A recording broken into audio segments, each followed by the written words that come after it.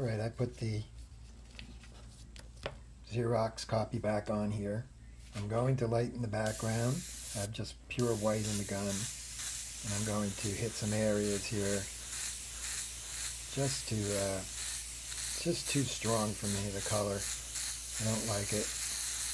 It's in the real picture, you know, the, the reference picture to some degree, but a little bit uh, too saturated. So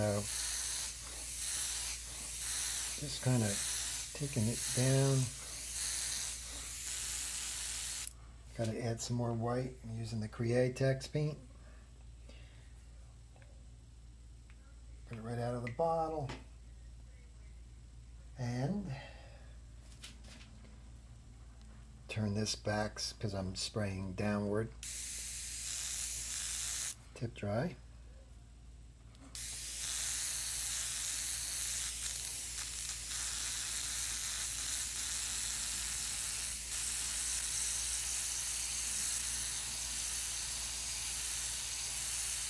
I still want to see the color, but I surely don't want to see the strength of it.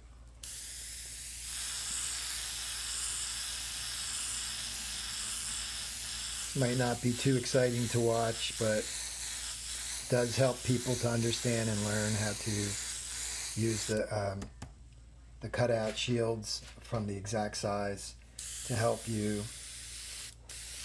get things done using the stencil from the original. The tape on these is a little bit worn out. That's the original. I cut out the openings and put tape on there to pin them down. But using it a number of times, it's uh, wearing out. So I'll just move it as I go. Also, I'm going to put um, some reducer I'll do this over here.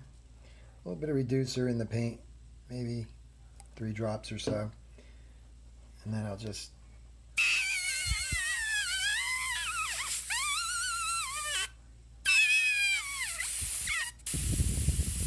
mix it in there a little bit. Wasn't squeezing it down hard enough. Okay. Turn up the air pressure. With the MAC valve which is really great. And take out some of this. Now you'll see more drastic.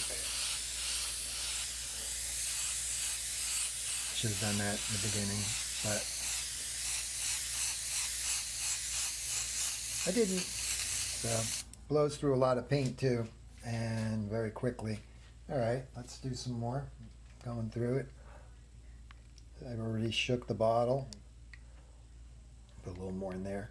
Nice thing about the Micron is that you can um, turn the color cup to the way you need it so it won't spill down on the painting.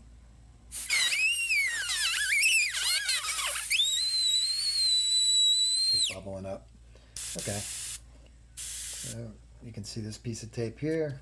I'll remove it and carefully use my fingers spray out the lighter background. Turning this cup this way allows me to not pour it onto the picture. Uh, I can add color to it again. I just wasn't wasn't happy with the background. And so I'm taking some of it out. And I do want one side to be lighter than the other side. Let's peek at it. See how she's looking. I can do this again and again. So for now, I'm going to just leave it. You know, I'm going to work on this side more, maybe shift more white light over here. Actually, I might do this side lighter, yeah, because there's more light hitting this side of the cat. And I'll just wash this out more and uh, maybe do that right now.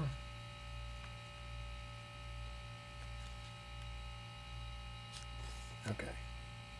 Just line it up. And again, I'm going to be going back and forth on the edges using using the uh, freehand techniques of putting the fur out into into the background a little bit, out of focus fur, things like that. Okay, back down here, the lighter side as far as I'm concerned. Got to make sure it's registered right on. And that's not. So I will move it a little bit. Just focusing on this side for now. Again, with the with the heavier amount of air, the higher air pressure, really gets the job done quick, but it empties the gun out quick. I just want this side to be lighter, and I'll work it from there. That looks pretty good. Still got some color in it, and I can tint, I can do anything I want as far as later on when I want to bring it to um, a finished stage. So, let's see. As you can see, I did some work. Um, sorry for the shaky camera.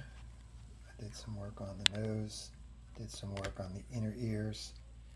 Some of the reflection colors, I guess, in the photograph are in the ear, as you can see here. Still have ways to go, but one step at a time and I'll be getting it where I want it. Anyway, when I get to the fur